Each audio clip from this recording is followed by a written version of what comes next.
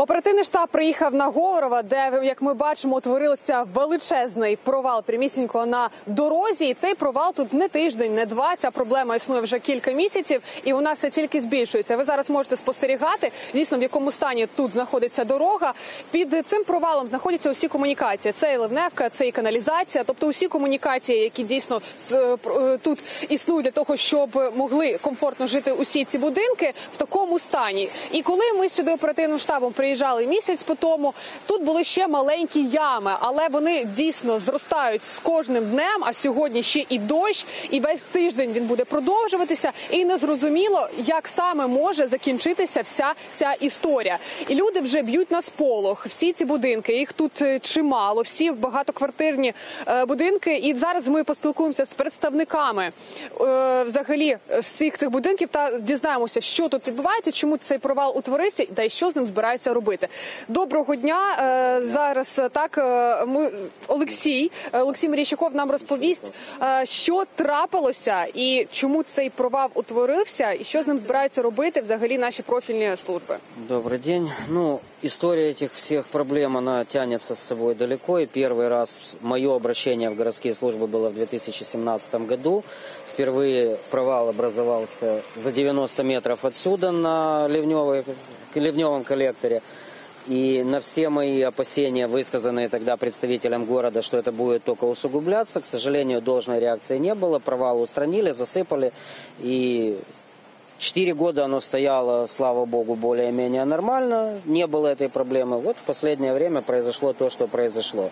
Суть проблемы, ну, скорее всего, она комплексная. Это и нарушение при строительстве ливневого коллектора и канализация, которая допущена строителями данного микрорайона. Это и проблема в том, что службы, которые должны были контролировать проведение работ и прием этих систем, они не выполнили свою функцию, они не проконтролировали.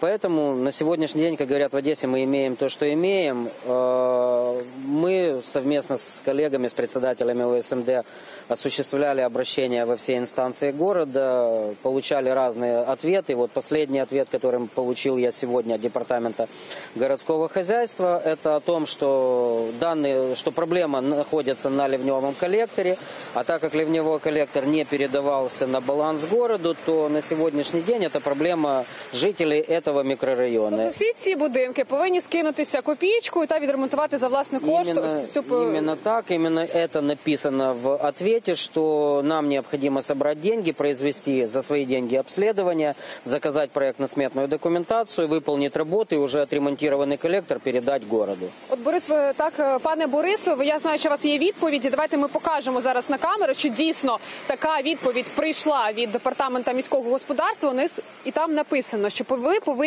за власний кошт, ось які мешкають так, здійснити наступні заходи за власні. Кошти, а ми розуміємо, що тут проходять усі комунікації, і скільки це буде коштуватиме. Я розумію, що тут проблема полягає в тому, аби від, відремонтувати або ці комунікації перенести. Так, пане Борис? Да, я думаю, что тут следует тр- требования, хотят, чтобы мы за свои деньги это сделали. Хотя, э, если в общем сказать, это не относится к придомовой территории, так или нет? Это относится к городским коммуникациям.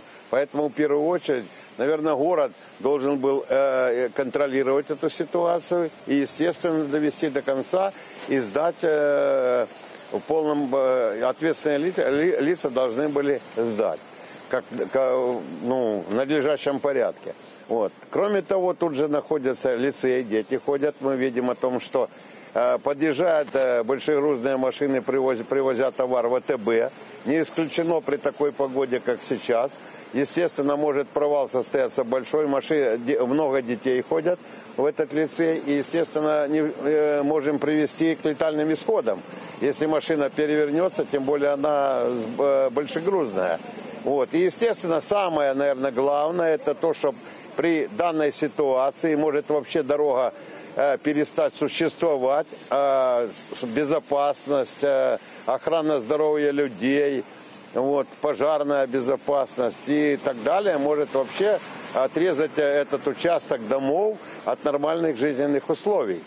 Поэтому хотелось бы, чтобы городские власти приняли меры к тому, чтобы ликвидировать данную ситуацию и привести в надлежащий вид данный переулок. Взагалі, як швидко цей провал збільшується? Ми бачимо, що всі ці з- вже щити вони потрапили в ці ями, і вони можуть піти під землю вже дуже Провал скоро. постоянно становится большим, и э, проезжая часть становится меньшим, потому что сейчас э, по прогнозам мы, мы видим, что будет дожди долгое время идти. Естественно, образуется, может быть такой момент, когда тут может переворачиваться машины, или даже возможности проехать по данной дороге не, не будет.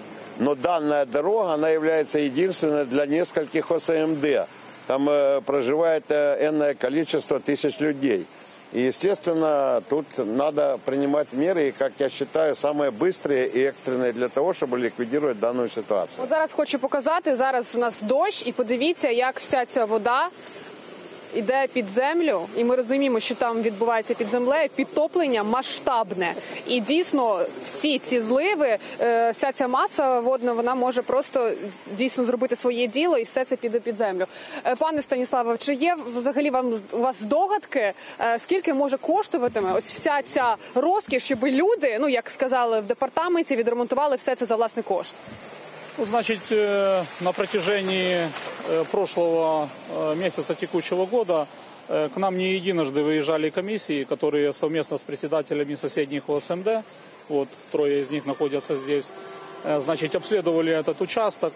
И приблизительно нам была озвучена стоимость проведения этих строительных работ, капитального строительства, порядка 4 миллионов гривен. Это на участке Э, 90 метров. Это, скажем, прямо на участке 90 метров.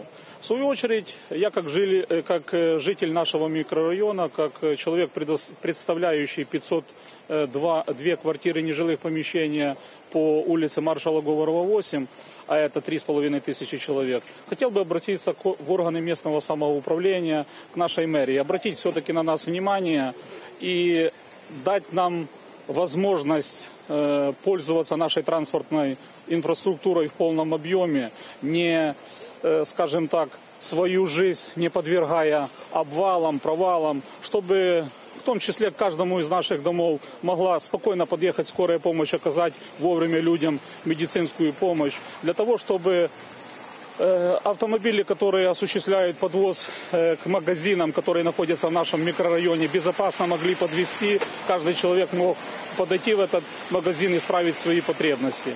Э, Как ну, ничего большего мы не требуем. Мы просто требуем, э, как бы не- даже сказать не требуем, а просим обратить на нас внимание и помочь нам решить ту проблему, которая возникла. Я даже сказал бы, это не проблема, ее можно прямо обозвать катастрофой. Почему? Потому что сегодня это транспортное сообщение, пусть это переулок, но э, сегодня вы же видите, какая пагубная Ну, ми, ми будемо звертатися також і до департаменту міського господарства, тому що дійсно ми з власними очима бачили результати цього провалу. Що з кожним днем він стає все більше і більше.